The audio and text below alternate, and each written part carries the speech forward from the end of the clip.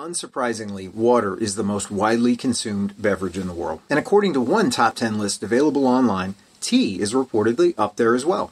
I've spent considerable time talking about both, but ye old cup of java is high on the list, and so far I've largely neglected it. Just what can be said about this staple breakfast drink? And does one of its common ingredients, caffeine, have any connection to cognitive health? In this video, I want to take a look at coffee.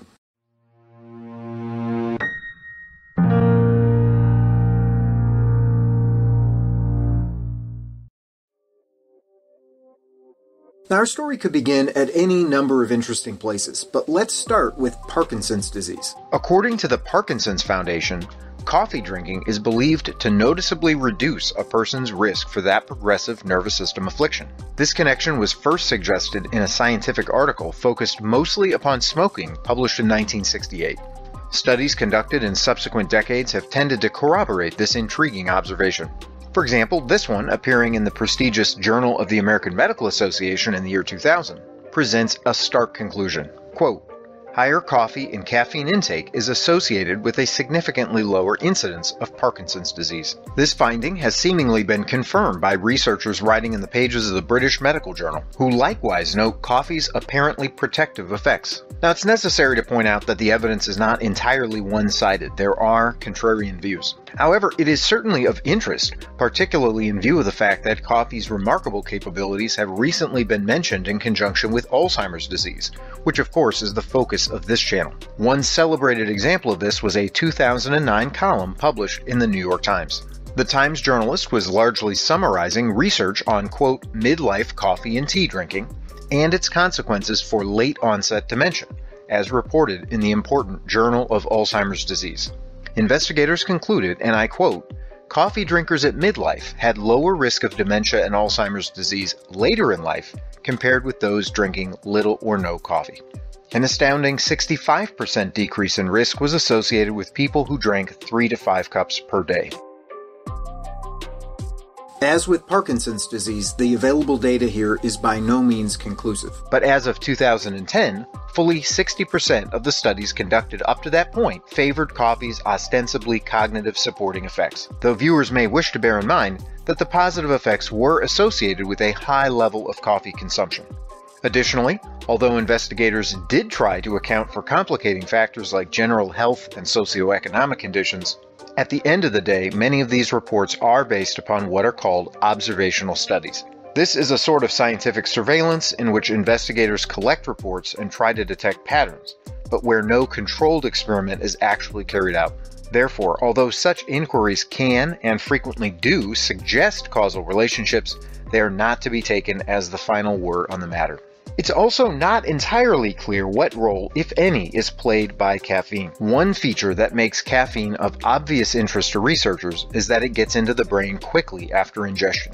It has been investigated in numerous contexts, and scientists have amassed preliminary evidence that it may enhance the process of long term memory creation. And in animal testing, relating again to Parkinson's applications, caffeine has been designated as neuroprotective, which is of obvious interest given its possible relevance to other degenerative cognitive afflictions. One opinion on caffeine's pertinence to the matter at hand, available on the popular Alzheimer's Association website, is that coffee's protective qualities may not be due to caffeine. The opposite opinion, that caffeine is a protective factor itself, is also well represented in the literature. Now, of course, coffee is only one of more than 60 natural sources of caffeine and caffeine functions in part by inhibiting the effect of the brain chemical adenosine. Some investigators suppose that adenosine does have relevance for the study of Alzheimer's disease, and long term caffeine use is correlated with reduced levels of beta amyloid protein. As of today, no single clear cause of Alzheimer's disease has been definitively established but one perennial contender is the amyloid cascade hypothesis. You'll recall that Alzheimer's disease is partially characterized by the accumulation in the brain of various gunk. This comes primarily in two forms referred to collectively by the phrase plaques and tangles. Now, according to the amyloid hypothesis, the first thing that occurs is that beta amyloid accumulates between nerve cells, disrupting communication. This results in an avalanche or cascade of further problems. Secondly, tau protein goes haywire inside the nerve cells, causing dysfunction and even cell death, also referred to as neuronal apoptosis. Since the formulation of this hypothesis in the early 1990s, amyloid beta has been a popular, if not very successful, therapeutic target. This means that pharmaceutical companies have spent considerable time, energy, and money testing various chemicals that purport to address the deposition of beta amyloid protein. Some drugs try to stop the protein from clumping together in the first place, while others try to break apart protein that's already clumped together. These compounds are variously termed anti aggregative or anti amyloidogenic. And the hope, of course, is that if the hypothesis is correct, stopping amyloid aggregation will stop or reverse Alzheimer's disease. Incidentally, various herbs and other antioxidants are also suspected of this activity, which I have explored elsewhere. With this background in mind, it's perhaps not a surprise that both caffeine and coffee have also been investigated in this connection. They have been looked at as possible anti amyloidogenics on their own, as well as together and in conjunction with other chemicals, such as melatonin. As an aside, pharmacologists have looked to coffee or caffeine specifically, for developmental inspiration and for research leads. A number of candidate drugs have been proposed, but not all avenues have produced positive results. In a few cases, experimentation has seemed to come very close to exemplifying the saying, the cure is worse than the disease. Another setback occurred when the much ballyhooed anti-amyloid drug aducanumab was rejected in its bid for FDA approval, although its development had nothing to do with caffeine or coffee, as far as I know. The supplied reason for its rejection, a lack of evidence for its efficacy, is certainly less dramatic a failure than the example just canvassed. I talked a bit about aducanumab in my recap of 2020. Nevertheless, at least one pharmaceutical, now sold under the brand name Nourianz, has obtained the proverbial green light and is used for so-called off periods in conventional Parkinson's treatments. The lackluster performance of amyloid hypothesis motivated drugs has given impetus to competing hypotheses, including those that give pride of place to tau protein instead. And coffee is a player here as well, as another of its constituents, EHT, is said to, quote, rescue tau pathology and cognitive impairment in some experiments on rodents. Besides possibly decreasing amyloid and tau accumulation, coffee, caffeine, and melatonin have also been investigated for possible positive effects regulating circadian rhythms, which are often upset in Alzheimer's disease sufferers. This novel use is applied in an intervention broadly referred to as chronotherapy. Think of it as an attempt to regulate or control a patient's internal clock. Some researchers tout this as an effective way to slow the progression of mild cognitive impairment, also called MCI, which often develops into full blown Alzheimer's disease. Of course, this use depends partially on the fact that coffee and caffeine have stimulant effects, and it's related to research suggesting that coffee may counteract the negative effects of sleep deprivation, at least over very short periods of time. We're talking a matter of a few days. An obvious word of caution is in order here, however. It's pretty obvious that stimulants like coffee can disrupt normal sleeping patterns. For this reason, recommendations for healthy sleep often include the reduction or elimination of caffeinated beverages. This certainly introduces complications and can result in conflicting advice. I intend to explore the question of sleep and sleep aids more fully in a forthcoming video. But practically speaking, a consultation with a physician or other healthcare provider may be in order for you.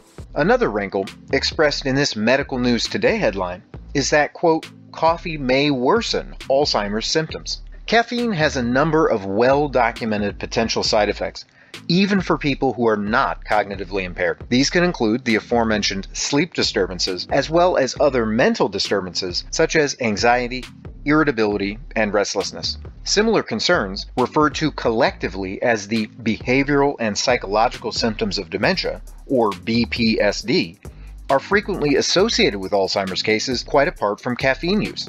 It is not too surprising, therefore, that some researchers have found that chronic caffeine administration can make some of these behavioral symptoms worse.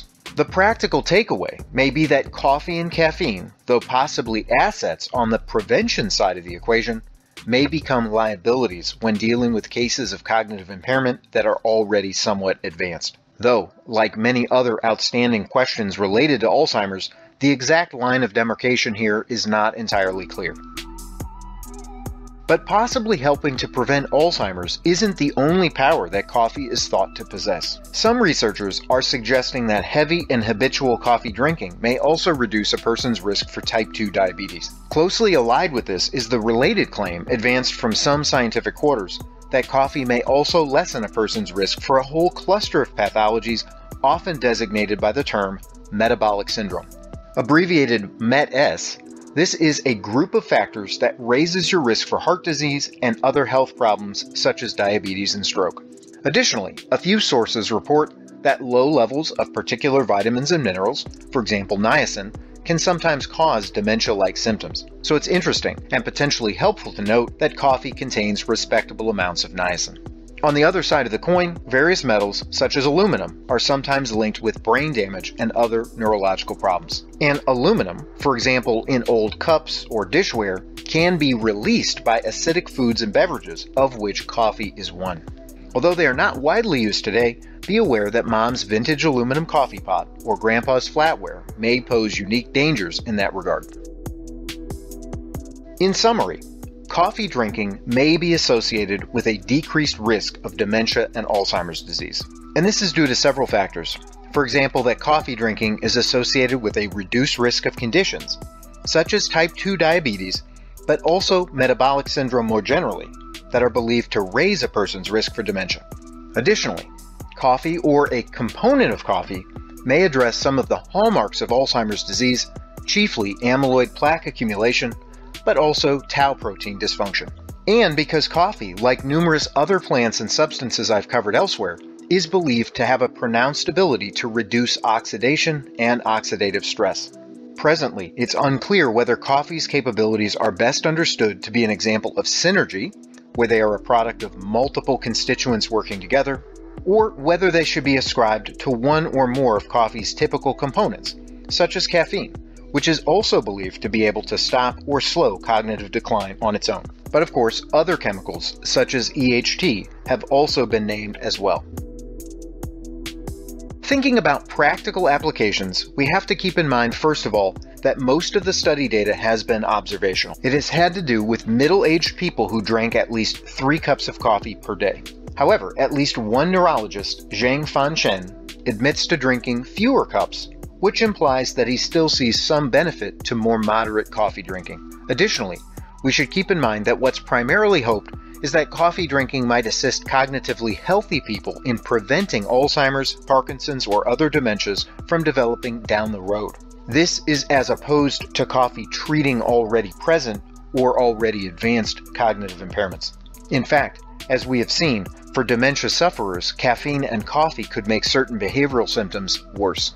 Finally, although commentators are quick to dissuade us from being irrationally enthusiastic about coffee's abilities and urge people to recognize that further research is needed, Nevertheless, there is a clear and respectable rationale for encouraging coffee drinking. Of course, the question of adding in sweeteners is another matter altogether, and I've addressed it more fully in other videos. As always, this video was for general, informational, or entertainment purposes only. Please don't construe any of what I've been saying as specific advice if you do need specific advice, consult with practitioners who are knowledgeable in your area. But if you found something of interest in the video, I ask that you like it. If you'd like to see additional content along these lines, I invite you to subscribe to the channel. And if you click the notification bell, you'll be alerted to that content as it becomes available. Either way, I thank you so much for joining me today, and I look forward to seeing you again in another video. Thank you so much.